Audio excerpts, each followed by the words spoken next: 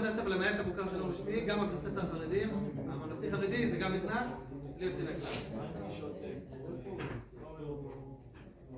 הכנסנו את זה בגני ילדים. בבתי הספר אנחנו בוחנים כל הזמן. אה, בית ספר, זה עוד לא פורסם, אבל בית ספר ייחודי אה, לבחינת אה, יסודי, שהולך להיכנס למגזר הכללי, זה אמור להיות אתגרי העתיד, כמו שיש אתגרי העתיד לתיכון, הולך להיות אתגרי העתיד ליסודי, וזה יהיה אמור להיות מסגרת של בית ספר על-עירוני. זאת אומרת, גם מי שלא גר קרוב לבית הספר יוכל לרשום את הילדים לבית הספר.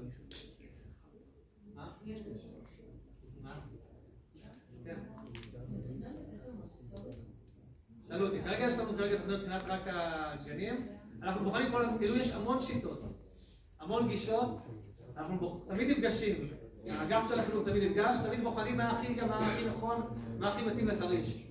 מה שאנחנו מזהים, שההורים בעיקר רוצים משהו אחר. לאו דווקא שיטה כזאת או אחרת. רוצים משהו אחר, משהו שונה, שיביא לילדים. ובוחנים מה הגישה הכי נכונה. חבר'ה, אנחנו לא מעט מסיימים, בסדר? לגבי ה... מה שאני רוצה לציין לטובה, הבן שלי הצעיר הלב, הכניסו את העניין של מצוינות, לקחו אותם למבחנים בר אילן, מצוינים שלהם במתמטיקה, והלוואי יהיה מענה גם למצוינות.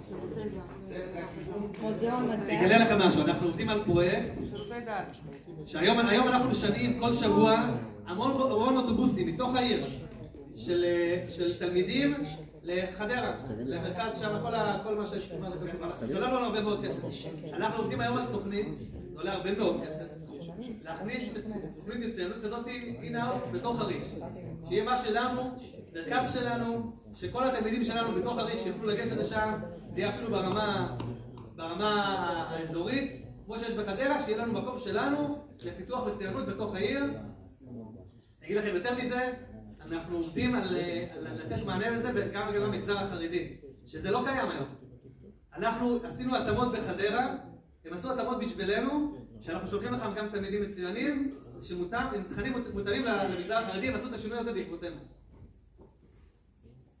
אה, אנחנו לגבי שירותי דת, אנחנו בונים מקוואות גם בשכונת בית צוותא, גם בשכונת הפרחים, אה, מערכת כשרות. יש לנו הרבה יותר על בתי כנסת. אנחנו אני שם, אני מסכים שיש חוסר בבתי כנסת, חד משמעית. אבל אחת הסיבות שאני מאוד מתעקש על הדבר הזה, כי אני רוצה שיפנו מבני קבע ולא יהיו, לא יצבו את הנושא הזה של הקרוונים. אנחנו, יש מקומות שאיתרנו את זה כי הבנו שאין ברירה ואי אפשר מה שנקרא לעשות את זה עד הסוף. אבל המטרה בסופו של דבר, שיבנו בכל העיר, בכל השכונות, מבנה קבע של בתי כנסת, שהכל יראה מסודר, יפה, נקי, לא צריך שכל המבנים יהיו יפים ורק הבתי כנסת יראו כמו שהם יראו, אלא גם בתי הכנסת יהיו חלק בלתי נפרד מהיופי של העיר הזאתי. אנחנו בתהליכים של הקצאה של עשרות בתי כנסת בכל רחבי העיר, וגם לזה יהיה מענה. רק מה בצורה מסודרת ויפה, וכמו שאנחנו רוצים שיהיה בכל ה... טוב, זה מקווה שניתן שכונת בצוותא. נדלג. אחד הנושאים שאנחנו עובדים עליהם הרבה זה נושא של חילונים דתיים את זה הרבה. אנחנו מובילים קו מאוד ברור לחיים משותפים פה. של דתיים, חילונים, חרדים, כולם ביחד, בלי יוצא מן הכלל, זה עיר שחיים פה ביחד. אם יש מקרים כאלה ואחרים, צריך להגיד את זה. זה בדרך כלל מיעוט קולני, הוא מיעוט שמייצר הרבה רעש, אבל זה לא אהבה וזה לא הלך הרוח בתוך העיר חריש. סך הכל, אתם יודעים את זה, כן. יש אווירה, יש סולידריות, אנשים חיים אחד עם השני בתוך, באותו בניין, חילונים, דתיים, גם חרדים, כולם, סך הכל חיים, וצריך להגיד את זה, צריך כל הזמן לפמפם את הנקודה הזאת, כי זו נקודה שהרבה פעמים מרחיקה אנשים. זה כל מיני פרויקטים שעשינו, אני מסיים. זה דוח של משרד הפנים, שהפך אותנו מחרים ממועצה לעיר. בהתמודדות עם אתגרים ייחודיים של בניית עיר כמעט מאפס, הקמת השירותים הארגוניים, והכל תוך כדי קליטת עשרות אלפי תושבים חדשים, אלה אתגרים שעיר ותיקה לא נדרשת להתמודד איתם. וחריש עמדה בהם בהצלחה. זה דוח של משרד הפנים. טוב, זה אתם יודעים מבחינת הדברים. תראו, כל מה שהצגנו לכם עד עכשיו, זה לא, זה לא כותרות באוויר, זה לא סיסמאות. זה תוכניות העבודה של העיר חריש לחמש שנים הבאות. תוך חמש שנים, העיר חריש, 2028, אנחנו נעמוד על 65 אלף תושבים, 16 אלף בתי אב, 260 מוסדות חינוך, 207, 207 פארקים וגינות, 6 שכונות, עיר יציבה כלכלית, פתרונות תעסוקה ונגישות תחבורתית, כל זה הצגנו בכל הדברים האלה. הולכת להיות אחת הערים המובילות במדינת ישראל. היפות ודאי, אני אומר המובילות. כל זה מבחינת כל התנאים, שיהיה את הרכבת, שיהיה את כל ה- כל ה- כל ה- כל מה שאנחנו מדברים עליו, גם מבחינת התחבורה, גם נגישות תחבורתית, גם תחבורה ציבורית, גם אזורי תעסוקה. זה ימצב את העיר חריש גם מבחינת עיר יפה ומסודרת ונקייה, וגם של של מענים לכל הדברים האלה. עכשיו שרון תציג את שאר הפרויקטים אה, מבחינת רפז ומבחינת אה, חריש דרום. שאלות לפני שאני אסיים? מה הולכים לבנות מול ארבעים וחמש צמודי קרקע? לגבי צמודי קרקע, שאלו את זה כמה פעמים. אנחנו רוצים שכונה של תימנים. כן, מה קשה? מה, באמת? אני רוצה. רסקו בחריש. אנחנו בוחנים, אנחנו בוחנים צמודי קרקע. שקט אתה. זה יהיה מוגבל, לא הרבה, זה יהיה מוגבל, אבל גם המחירים כנראה יהיו בהתאם. ואני אגיד לכם, המדינה לא רוצה צמודי יצחק? קרקע. היא לא רוצה לבנות צמודי קרקע. כדי לשכנע אותה, איזה אזור אבל? בשביל לשכנע אותה אנחנו כאילו תורמים חלק מהשטחים הציבוריים שלנו. אבל מה הולך להיות שם? כזה. לא, כרגע, מה שגידרנו, זה שזה לא יהיה שם... כדי שלא ייכנסו אנשים שלא יהיה שם עוד בית כנסת, זמני. גובה ויפלו. אבל כרגע יש שם שבת. יש תכנון, ולא על לא? תכנון באמת לבנייה נמוכה. בשכונת הפרחים, בחלק הדרומי של שכונת הפרחים. מי מי? של מי הקרקע הזאת? אני אני אענה. לא, אבל זה לא עכשיו נראה לי לכל הפורום. זה מאוד קשור לדעתי לכל העיר. זה קריטי. אוקיי. מגרש כדורגל שאפשר לייצר שם קבוצה, מכבי חריש לצורך העניין. יש משהו בתכנון או ש... אין בתכנון, אמרתי, אבל יש לנו אזור שיכול להיות שם. בחריש דרום יש לנו אזור מאוד גדול של של שטחי ציבור אה, ששם יש התכנות לתכנן דבר כזה. בתוך האזור, איפה שאמור להיות אזור תעסוקה, שם אמור להיות אזור לתכליות האלה שאמור להיות דברים הרבה יותר רועשים, שפחות מתאימים ליד מגורים. בדרך כלל מגרש, כזה, בדרך כלל הוא יותר, אה, פחות אה, נעים. בנתניה זה ממש בקריית השרון. קריית השרון, אבל זה מורחק מהבתים, מאוד מורחק.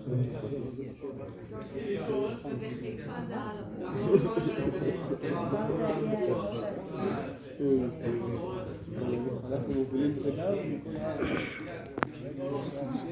מבחינת כמות האוכלוסייה, אנחנו נעבור, עוד עשר שנים אני מצפה שזה יעבור את המאה. לא, איפה, באיזה אזור? שהכל כבר יהיה בנוי. יש הרבה אזורים שעוד לא פותחו. יש הרבה אזורים, מבחינת, אני אגיד לכם יותר מזה. רמ"י אפילו, יש לה תוכנית מגירה, לקחת את כל מה שמעבר לכביש 6, מערבה מכביש 6, לשכפל את כל הכמות העיר חריש שנמצאת היום בצד השני. זה כמות מטורפת. יש? כמו שבנתניה יש את קריית השעון מעבר לכביש 2, אותו דבר בחריש.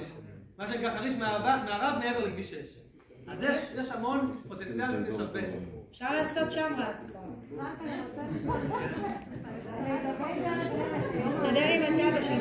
רגע, בוא נשמע את זה. העסקים היום בדרך כלל קורסים היום. יש איזשהו צפי ששם כן יעשו משהו? שכן בעצם העירייה תיתן איזשהו... והנראות גם, הנראות זה פשוט אה, לא נראה טוב כל העניין הזה של דרך ארץ, זה נראה מטונף וזה נראה לא טוב, זה לא נראה טוב. זה בעצם הכניסה לעיר.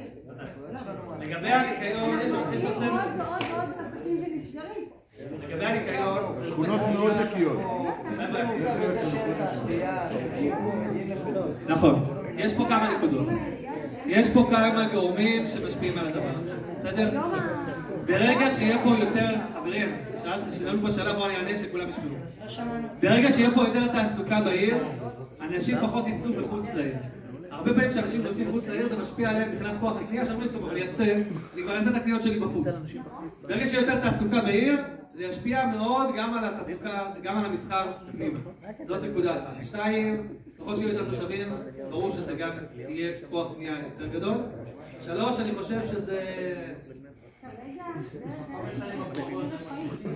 אנשים יכולים בגלל החיים. עיר חיים, ואז יש בקרב הערבים אני אגיד לכם משהו, זה קשור מאוד בהרגלי הרגלי צריכה. בכל עיר, כמעט, אני לא מכיר עיר שהכביש הראשי שלה, שיש שם מסחר, יש שם חניה. אין אין כמעט חניה בשום מקום כזה, זה מכוון בכ- בכוונה תחילה שאנשים יגיעו בדרכים אחרות. ויחסית, יחסית אני חושב שפה עוד המצב יותר טוב מבחינת חניה ממקומות אחרים. לא צריך ללכת רחוק, לכו לחדרה, רחוב הנשיא, נראה אתכם רוצים חניה, אתה יכול להסתובב חצי שעה לא תמצא שום חניה.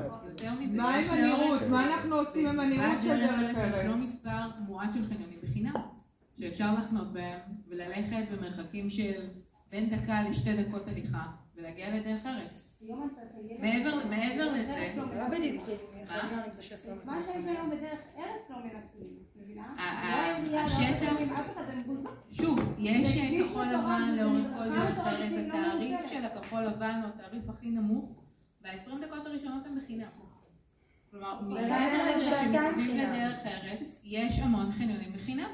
הרי, הרי אנחנו רוצים הרי שתהיה תחלופה של אנשים לטובת העסקים. הרי כל הרעיון, אם מישהו בא, שם את האוטו שלו למשך כל היום ועובד שם ותופס חנייה, זאת בעיה לאותו בעל עסק. ולכן ההחלטה על הכחול לבן היא החלטה כדי לייצר תנועה. עכשיו, אם אדם רוצה.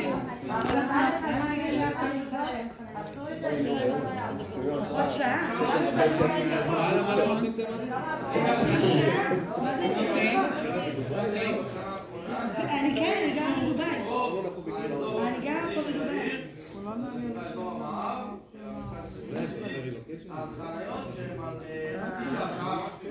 20 דקות, כן, נכון. יש את הפרויקט הזה, כרגע אין בעיה, אם אתה מגיע ארץ יש לך איפה לחנות. ה- ה- אני מזכירה, אני מזכירה לכם את המצב לפני כמה חודשים. המצב היה שלא רק היה אי אפשר, לא היה מקום חניה, גם היה אי אפשר לעבור בדרך.